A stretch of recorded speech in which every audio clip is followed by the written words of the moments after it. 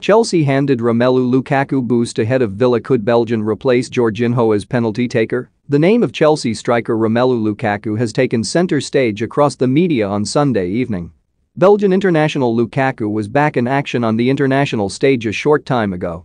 This came with the Red Devils having welcomed the Czech Republic to Brussels for the nation's latest 2022 World Cup qualifier. Roberto Martinez's men headed into proceedings sitting pretty atop the Group E table, having racked up 10 points from an available 12, notching 17 goals along the way. And, when all was said and done on Sunday, Belgium's fine spell of form only continued.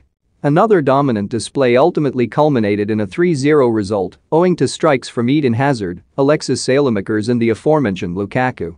And, as outlined above, on the back of the action coming to a close at the King Baudouin Stadium, it is the name of that man Lukaku which has since taken center stage online. This comes for a whole host of reasons. First off, the hitman this evening reached a remarkable milestone, lining out for his country for the 100th time, despite being just 28 years of age. Not only that, but he marked the occasion with a goal, Lukaku's 67th on the international stage, and supporters of Chelsea, whom the gifted goalscorer of course secured a return to last month, will not only be delighted to hear of Lukaku's latest efforts in front of goal. In a further boost for the Blues, it has been confirmed that Big Rom picked up a booking tonight, securing a suspension in the process.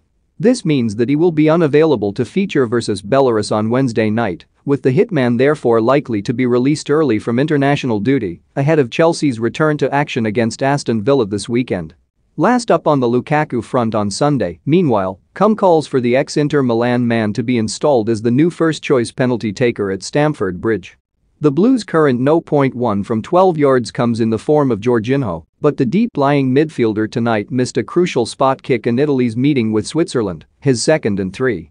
Lukaku, on the other hand, has long maintained a stellar record from the spot, with calls, in turn, having begun to spread across social media for the 28-year-old to be handed further